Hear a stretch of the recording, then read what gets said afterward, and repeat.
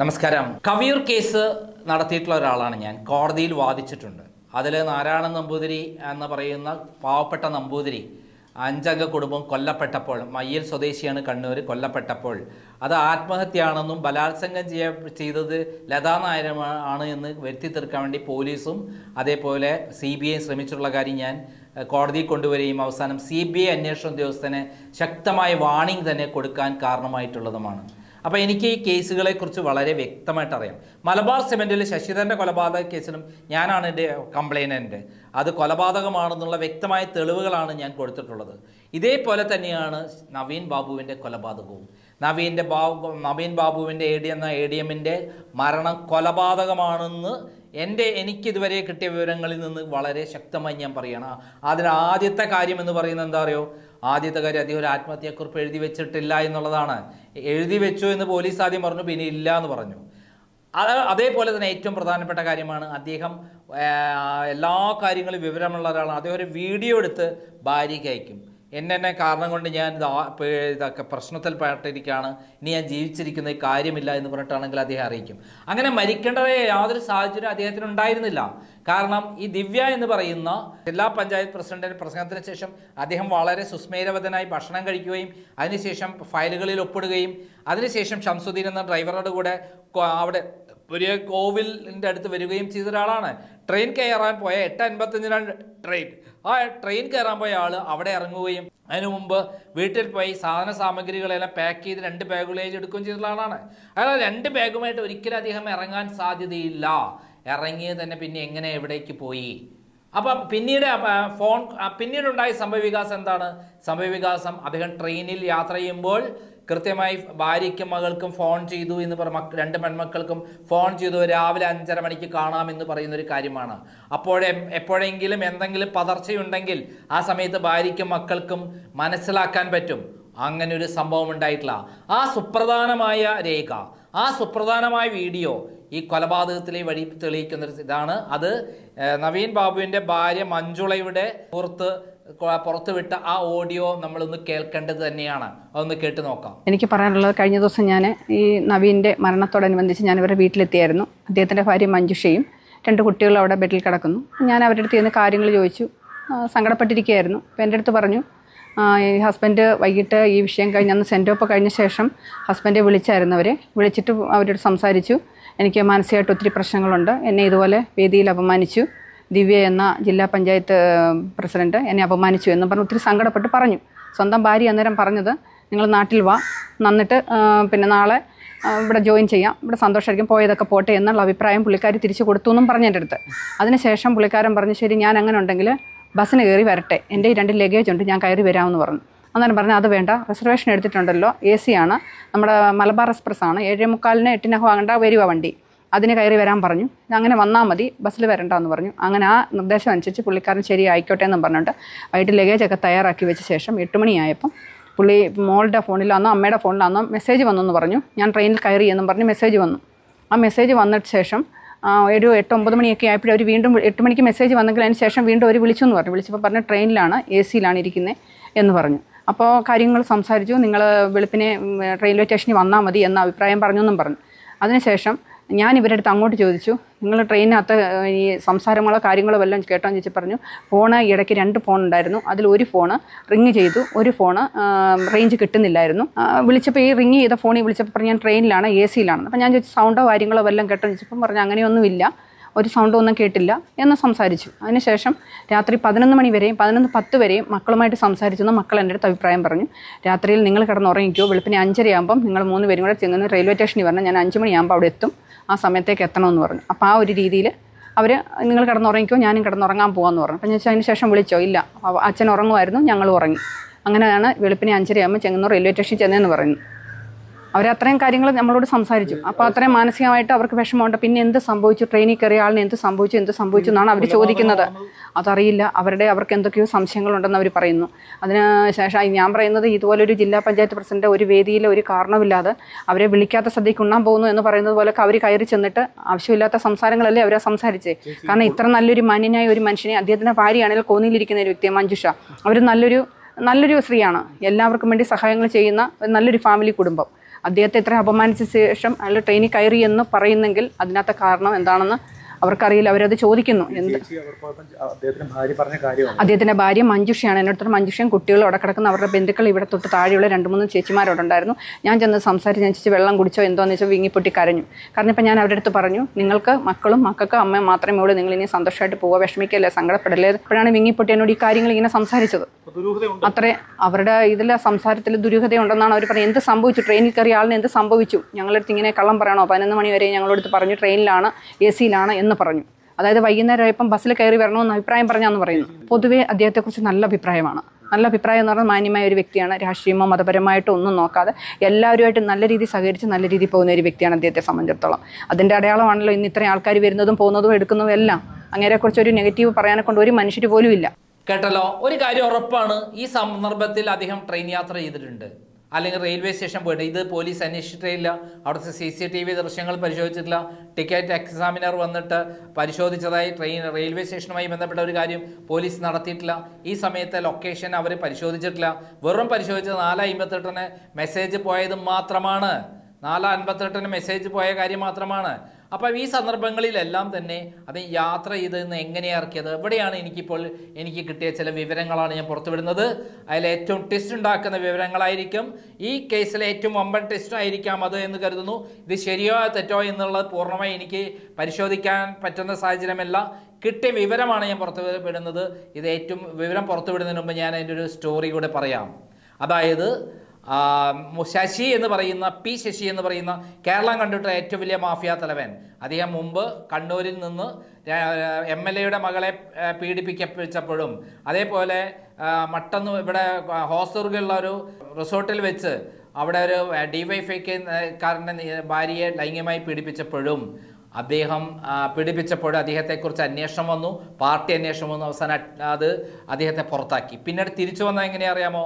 Crime അദ്ദേഹത്തിനെതിരെ case file ചെയ്തിരുന്നു. ആ സന്ദർഭത്തിൽ ഇപ്പം സാക്ഷികളായിട്ട് വെച്ചിരുന്നത് വൈക്കം വിശ്വനെയും അതേപോലെ വിജയരാഘവൻ ഇവരാണ് വിജയരാഘവനെയായിരുന്നു. ഇവരെയാണ് അന്വേഷണ കമ്മീഷൻ റിപ്പോർട്ട് കോടതി പോലീസ് ഇവർക്ക് കൊടുത്തത് പാർട്ടിക്ക് കൊടുത്തത്. അവരെ സാക്ഷിയെ വെച്ചിട്ട് അവരെ ആ ഡോക്യുമെന്റ് കൊണ്ടുവരാൻ വേണ്ടിയിട്ടാണ് സാക്ഷിയേക്ക് വെച്ചത്. എന്നാൽ കോടതി പോയി അവർ എന്ത് ചെയ്തു? സ്റ്റേ വാങ്ങി. സ്റ്റേ വാങ്ങിയോടെ തെളിവ് കോടതിയിൽ എത്തിയില്ല അതോടെ സാക്ഷി വിസ്താരവും നടന്നില്ല. അതോടുകൂടി തെളിവില്ലാത്തത് കൊണ്ട് അത് തെളിവ് അവിടെ എത്താത്തതുകൊണ്ട് കേസ് തള്ളി. എന്നാൽ പി ശശി തിരിച്ചു വന്ന എങ്ങനെയാ അറിയോ കുറ്റം തെളിയിക്കാതെ അദ്ദേഹം ശുദ്ധനാണെന്ന് പറഞ്ഞ് കോടതി തള്ളി എന്ന് പറഞ്ഞിട്ട് ഒരു കള്ളക്കഥയുണ്ടാക്കി അദ്ദേഹത്തെ പാർട്ടിയിലെടുത്തു. ഇതാണ് സത്യം. അതിന്റെ എല്ലാ തെളിവുകളും എന്റെ അടുത്ത് ഉണ്ട്. ഞാനാണ് കണ്ണൂർ കോടതിയിലും അതേ മജിസ്ട്രേറ്റ് കോടതിയിലും അതേപോലെ ഹോസ്ദുർഗ് മജിസ്ട്രേറ്റ് കോടതിയിലും കേസ് കൊടുത്തിട്ടുള്ളത്. ഇതേപോലെ തന്നെയാണ് ഏറ്റവും പ്രധാനപ്പെട്ട കാര്യം. നമ്മുടെ വിതുര പെൺവാണിഭവും ഐസ്ക്രീം പെൺവാണിഭവും നടക്കുമ്പോൾ അന്ന് ഐസ് കുഞ്ഞാലിക്കുട്ടി എന്ന് പറയുന്ന മുസ്ലിം ലീഗ് നേതാവിൽ നിന്ന് ഒരു കോടി രൂപ വാങ്ങി ഈ കേസ് അട്ടിമറിച്ചിരുന്നു. ഐസ്ക്രീം പാർലർ കേസ് അട്ടിമറിച്ചിരുന്നു. അന്ന് കല്ലട സുകുമാരൻ എന്ന് പറയുന്ന ഡയറക്ടർ ജനറൽ പ്രോസിക്യൂഷന്റെ റിപ്പോർട്ട് അന്ന് പി ശശിയുടെ കൈവശമുണ്ടായിരുന്നു. ആ റിപ്പോർട്ട് ക്രൈം പുറത്തു കൊണ്ടുവരികയും അദ്ദേഹം ഒരു കോടി രൂപ വാങ്ങി എന്ന് പറയുന്ന കാര്യം പുറത്തു കൊണ്ടുവരികയും ചെയ്തു. ഈ സന്ദർഭത്തിലെല്ലാം തന്നെ എങ്ങനെയാണ് പിന്നെ ഈ കുഞ്ഞാലിക്കുട്ടിയെ നിന്ന് കുഞ്ഞാലിക്കുട്ടിയെ ഈ കേസിൽ നിന്ന് അട്ടിമറിച്ചതെന്ന് അറിയാമോ കുഞ്ഞാലിക്കുട്ടി കുഞ്ഞാലിക്കുട്ടിയെ അട്ടിമറിക്കുന്നതിന് കാരണം ഇ കെ നാനാരെ വിതുര പെൺവാണിപത്തിൽ മുൾമുനയിൽ നിർത്തിയത് കൊണ്ടാണ് ഇ കെ നാനാരുടെ മകൻ മകൻ കൃഷ്ണകുമാറിനെ അതേ രൂപസാദൃശ്യമുള്ള കൃഷ്ണവേണി എന്ന് പറയുന്ന അജ്ഞാതനായ ഒരാളെ പ്രതിയാക്കി പിണ ഇ കെ നാനാരെ ബ്ലാക്ക്മെയിൽ ചെയ്യുകയും അങ്ങനെ പോലീസ് സംവിധാനം മുഴുവൻ പിണറായി പി- ശശി ഏറ്റെടുത്തു.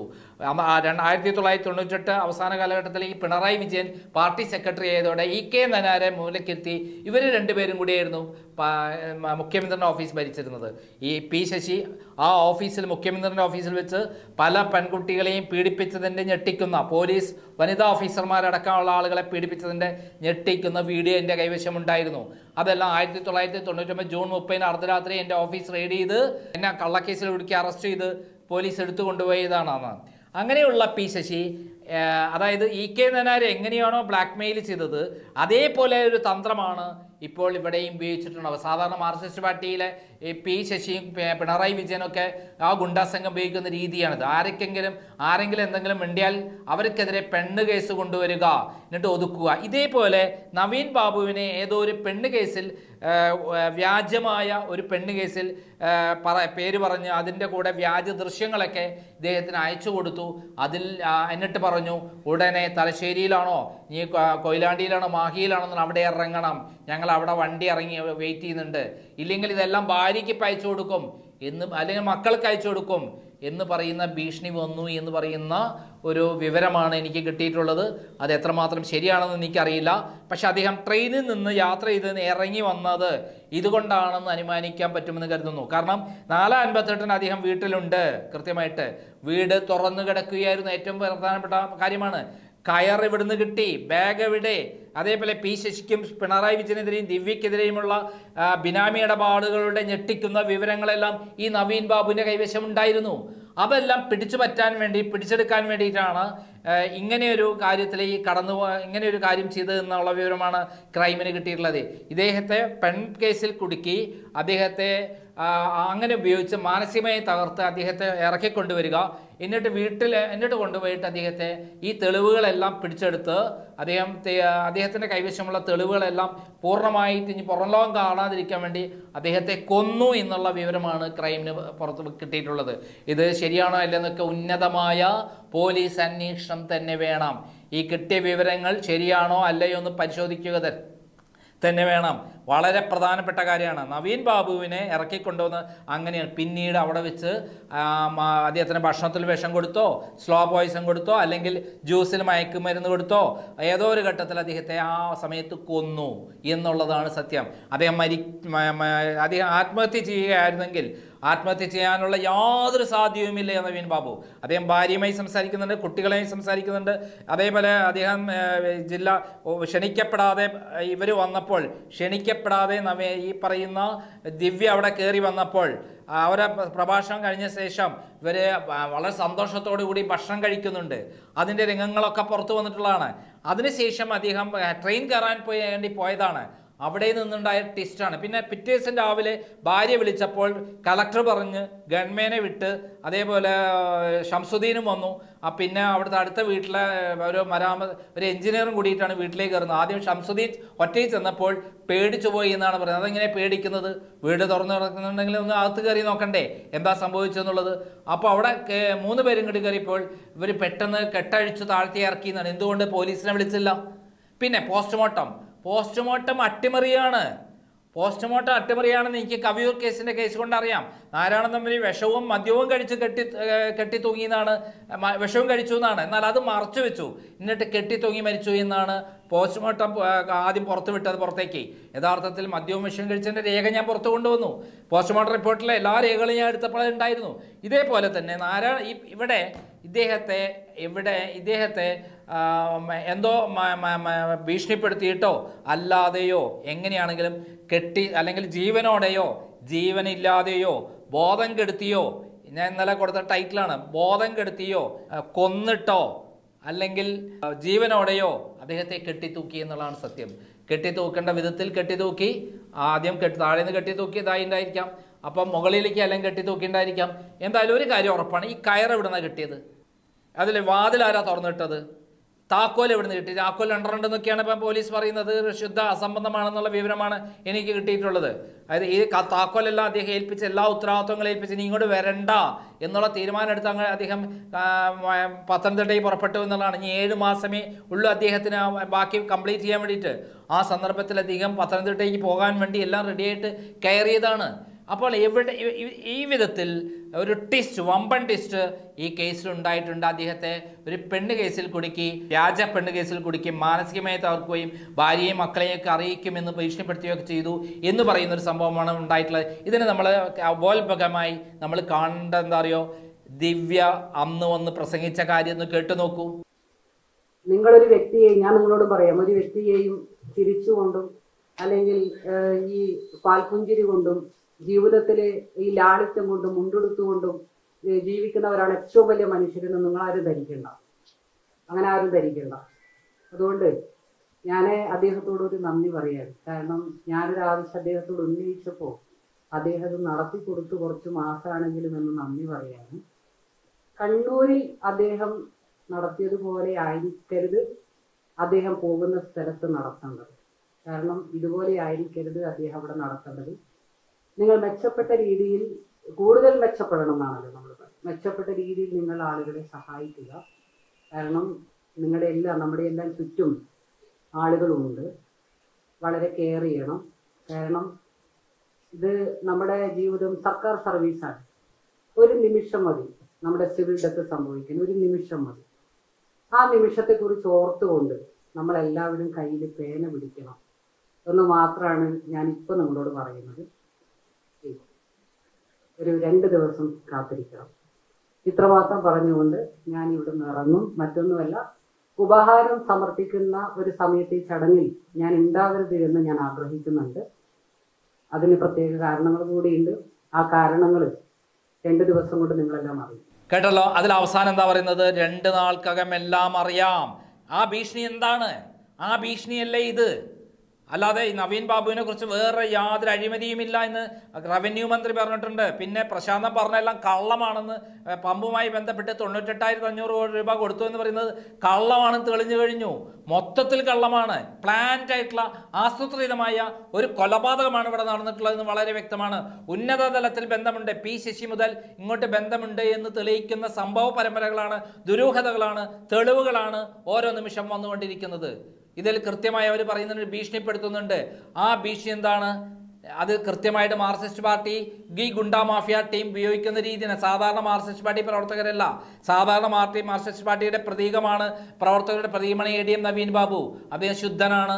ഇത്തരം തട്ടിപ്പുകൾക്കോ വെട്ടിപ്പുകൾക്കോ ഇല്ലാത്ത കാരുണ്യമുള്ള ജനങ്ങൾക്ക് സേവനം ചെയ്യുന്ന മനുഷ്യരഹിതമായ ഒരു പ്രവർത്തനം നടത്താത്ത കൈക്കൂലി വാങ്ങാത്ത ഒരാളാണ് അദ്ദേഹം. ഇതൊക്കെ വളരെ കൃത്യമായി അന്വേഷിക്കേണ്ടതാണെങ്കിലും വെറും കണ്ണൂർ സി ഐ ആയ ആരാണ് ശ്രീജിത്ത് കോടേരി എന്ന് പറയുന്ന പോലീസ് ഉദ്യോഗസ്ഥനാണ് അന്വേഷിക്കുന്നത്. ഇത്രയും വലിയ ഗുരുതരമായ ഒരു ആൾ വരുമ്പോൾ കേസ് വരുമ്പോൾ ഒരു എസ് പി റാങ്കിൽ ആർക്കും വഴങ്ങാത്തൊരു എസ് പി റാങ്കിൽ ഒരു കേസ് വരണം. അതേപോലെ കോടതി നിരീക്ഷണത്തിൽ കേസ് വരണം എന്നുള്ളത് വളരെ പ്രധാനപ്പെട്ടതാണ്. എന്തായാലും വളരെ ദുരൂഹതകളാണ് ഓരോ നിമിഷം വന്നുകൊണ്ടിരിക്കുന്നത്. വമ്പൻ ടിസ്റ്റാണ് ഇതിലുണ്ടായിരിക്കുന്നത് എന്ന് വേണം പറയാം. ഇത് സത്യമാണെങ്കിൽ അതായത് പെണ്ണ് കേസിൽ പെടുത്താൻ ശ്രമിച്ചിട്ട് അദ്ദേഹത്തെ മാനസികമായി തകർത്ത് അദ്ദേഹത്തെ കൊണ്ടുവന്ന് കൊന്നതാണെങ്കിൽ എന്നിട്ട് രേഖകളെല്ലാം തട്ടിയെടുത്തതാണെങ്കിൽ വളരെ പ്രധാനപ്പെട്ടതാണ് ഈ വിവരം എന്നുള്ളുകൂടി ഞാൻ പറയുകയാണ്. നന്ദി നമസ്കാരം.